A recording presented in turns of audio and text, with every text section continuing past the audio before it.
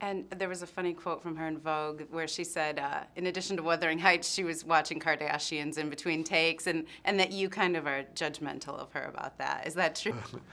I, I don't know if I'm judged. I just I try to stay away from that. Uh, it's not my it's not my reality TV taste. I asked him about, I read in Vogue that something like maybe he mocks you for watching Kardashians, and he tried to claim that he doesn't. What's the truth here? He's he's pretty understanding, and he is coming around with housewives.